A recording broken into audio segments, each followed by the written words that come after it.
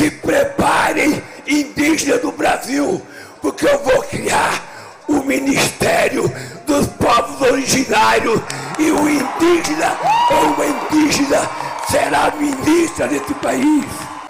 Se preparem, que a gente vai reconstruir o Ministério da Igualdade Racial.